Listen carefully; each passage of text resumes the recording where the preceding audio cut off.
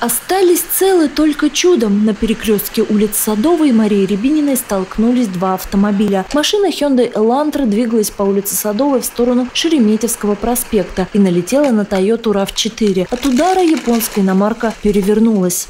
На пересечении с улицы Марии Рябининой водитель проигнорировал требования правил дорожного движения, то есть э, уступить дорогу транспортному средству, пользующемуся преимуществом движения, и совершил столкновение с автомобилем Toyota RAV4. Как позже объяснил водитель Hyundai, массивную Toyota он почему-то просто не заметил. Чудом оба автомобилиста остались невредимы. Сергей, владелец Toyota, момент аварии помнит плохо. Один страшный удар, звон стекла, скрежет металла, и автомобиль перевернулся.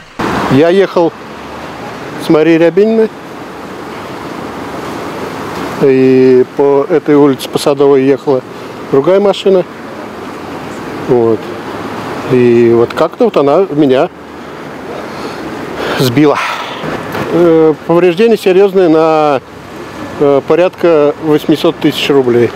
Автомобили увезли на эвакуаторах. Возможно, перевернувшаяся «Тойота» уже не подлежит восстановлению.